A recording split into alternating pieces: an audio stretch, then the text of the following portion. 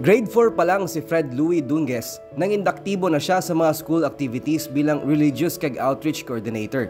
Nadala niya ang kapisan sa eskwela, kag ang pagserbe sa mga kasubong niyang estudyante hasta na nga nakagraduate siya bilang summa cum laude sa kurso nga Bachelor of Arts in uh, Political Science sa University of St. Lasal sinila nga Hulyo.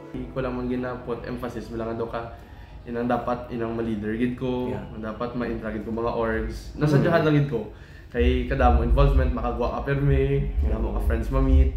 Di amo na sir inang nagsugod guro ang akon mga advocacy sa student empowerment kay syempre ah, sa school ko mo Mm. nagsugod. So student leader gid. Um, like for example, assisting ang mga estudyante sa ilang mga kailangan landa, um, ano ang mga processes sa school, Sinilang man nga Oktubre 1, napasidunggan si Fred bilang Most Outstanding Student Leader in the Philippines sa 2023 sa 3rd International Convention in Student Affairs and Services. Ang Training Advocates and Champions of Contract, isa ka non-profit organization, among naghatag sa pagkilala sa mga kasubong ni Fred nga may exceptional commitment sa student service kag dako ang nabulig sa komunidad.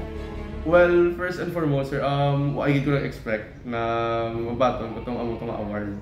Kay tungod nga syempre kadamo-damo sa amon all over the Philippines and do ka hindi ka mag-expect. Kay kadamo possibilities balahaw and amo to siya naging bigid ko sang pagbaton ko ka award. Kay do ka um, in one way bala sir how ang gina-carry mo is hindi lang lawas mo hindi lang ang family mo. Gina-carry mo man ang advocacies mo.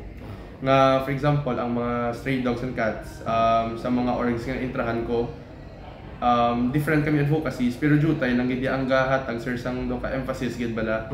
Istorya ni Fred nga magluwas sa pagserbe bilang University Student Government President sa University of St. Lasal nangin kabahin man siya sa mga advocate sang animal welfare rights.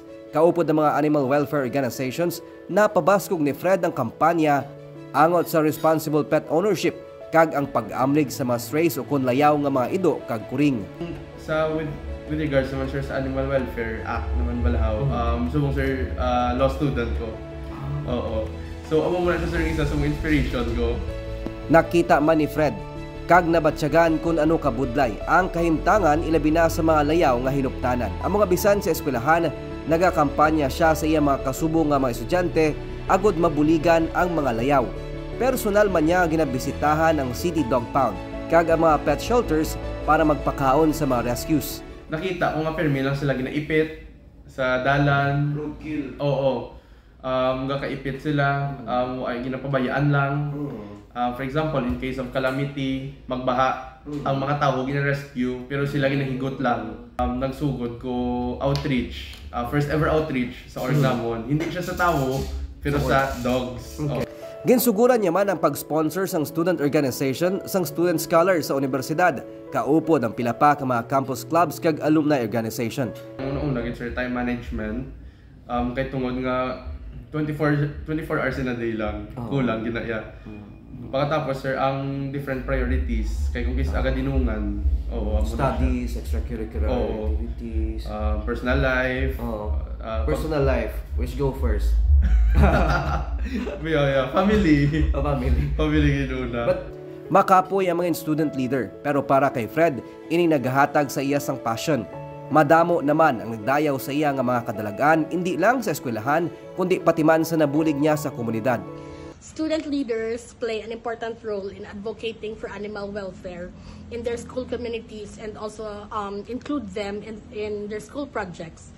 So they can help organize events and campaigns to raise awareness about the importance of pet um, responsible pet ownership, rabies, um, aban- um, pet abandonment, animal cruelty, and many more. So they can also help um, animal groups to um, organize um, events like um, shelter day, fundraisers for um, for the shelter or the pound.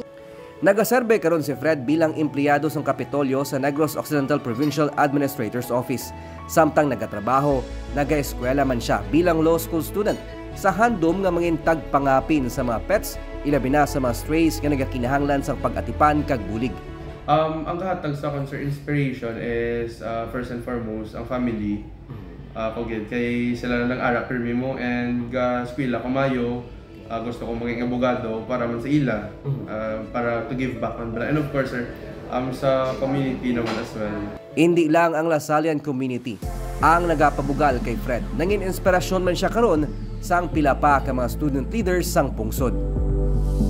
Hindi mo kinahanglan mangin gamhanan o kon may ikasarang agod makabulig sa imo isig katawo. Bisan ako o kon ikaw, pwede mangin baganihan.